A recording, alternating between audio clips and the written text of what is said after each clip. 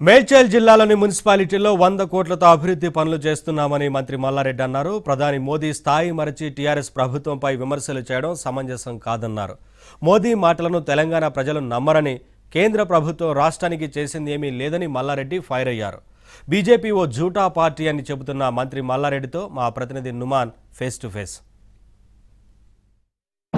Medchal జిల్లా వ్యాప్తంగా మంత్రి మల్లారెడ్డి విస్తృతంగా పర్యటిస్తున్నారు. సో అందులో భాగంగానే మంత్రి మల్లారెడ్డి ఇటు ఆ మేడ్చల్ నియోజకవర్గంలోని దమ్మాయి కూడా ఆ మున్సిపాలిటీలో పలు అభివృద్ధి కార్యక్రమాలకు కూడా శ్రీకారం చుట్టారు. ప్రస్తుతం మనతో పాటు మాట్లాడడానికి మంత్రి మల్లారెడ్డి గారు ఉన్నారు. వారితో మాట్లాడదాము. సో ఈరోజు ఏ ఏ కార్యక్రమాలకు శ్రీకారం చుట్టారనేది వారిని అడిగి తెలుసుకుందాము. సో చెప్పండి ఈరోజు మీ మేడ్చల్ నియోజకవర్గం దమ్మాయిగూడలో ఏమేమి కార్యక్రమాలకు శ్రీకారం చుట్టారు?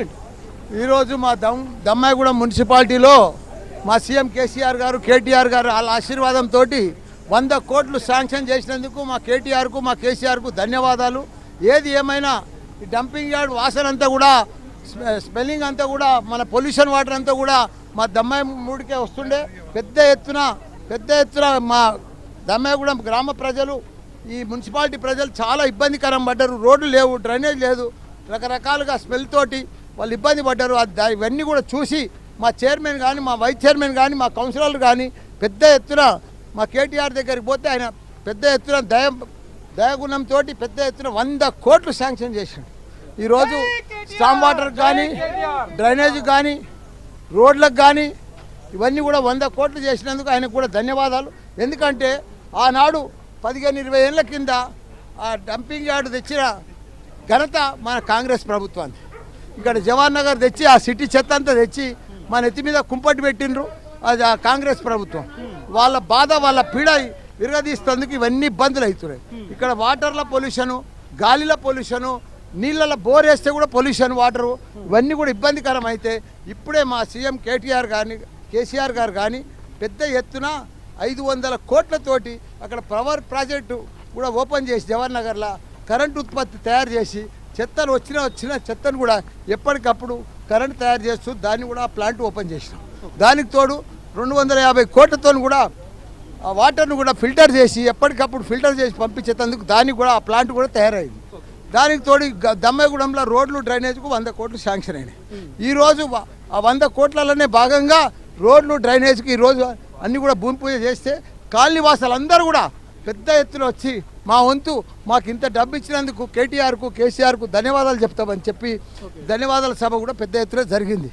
ఏది ఏమైనా మా జవహర్ నగర్ కానీ దమ్మాయిగూడెం కానీ నాగారం కానీ మేడ్చల్ గా- గట్కేసర్ కానీ పోచారం కానీ పిరిదాజ్గూడ కానీ బోడుప్పల్ కానీ ఆరు వందల యాభై కోట్ల రూపాయలు ఇచ్చిండు మా కేటీఆర్ గారు కేసీఆర్ గారు.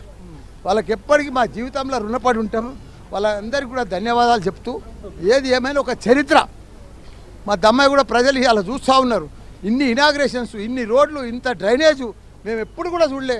వాటర్ కూడా మాకు ఇంటింటికి వస్తున్నది.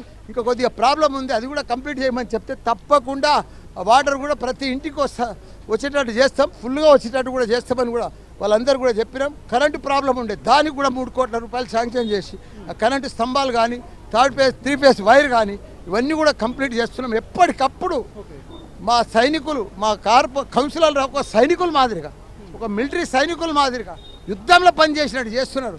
ఎందుకంటే మొన్నటి వర్షాలకు ఇక్కడ మోకాళ్ళెత్తు మూడు ఫీట్లు నాలుగు ఫీట్లు ఐదు ఫీట్లు నీళ్ళు వచ్చినాయి ఇళ్ళకు ఆ ఇబ్బంది కూడా వాళ్ళు చూసిర్రు. కాలనీవాసులు కూడా బాధపడ్డారు. మా మా కౌన్సిలర్లు అంతా ఎంబడెంబడి ఉండి ఇవన్నీ కూడా ఇబ్బంది ఉంటుందని చెప్పి ఎప్పటికప్పుడు చేసి ఇవన్నీ కూడా డ్రైనేజు స్టామ్ వాటరు ఇంకా మూడు చెరువులు ఉన్నాయి దీనికి. ఆ చెరువులు కూడా మొత్తం ఎండబెట్టి అవిటిని కూడా మినీ ట్యాంక్ బండ్ మాదిరిగా చేసి చెర్లల్లా ఎప్పుడు డ్రైనేజ్ వాటర్ రాకుండా దాన్ని కూడా డ్రైనేజ్ అంతా కూడా బైపాస్ చేసినాం. ఆల్రెడీ పైప్ లైన్ కూడా కంప్లీట్ అయిపోయింది దానికి కూడా ఎనిమిది కోట్ల రూపాయలు కేటాయించడం వర్క్ కూడా కంప్లీట్ అయింది సో ఓవరాల్గా అయితే ఇటు తెలంగాణని రాష్ట్ర అభివృద్ధి చేసేది టీఆర్ఎస్ పార్టీ అని. ఇక మోదీ ప్రసంగం ఏదైతే ఉందో సో దాన్ని తమ ఏ మాదిరి పట్టించుకోమని సో ఏదైతే ఇటు బీజేపీ పార్టీకి తెలంగాణలో నూకలు చెల్లవని ఇక్కడ ఎప్పటికైనా కూడా రెపరెపలాడేది గులాబీ జెండా అని కూడా మంత్రి మల్లారెడ్డి చెప్తున్నారు. మరోవైపు ఇటు ఏదైతే ప్రధాని మోదీ ఆ ప్రసంగం మీద మాత్రం ఇటు మంత్రులు టీఆర్ఎస్ ఎమ్మెల్యేలు సైతము పూర్తిగా ఆగ్రహం వ్యక్తం చేస్తున్నటువంటి పరిస్థితి కనిపిస్తుంది చెప్పొచ్చు. వీడియో తెలిసిన వేణుతో నుమాన్ ఏమైనా జ్యోతి మేడం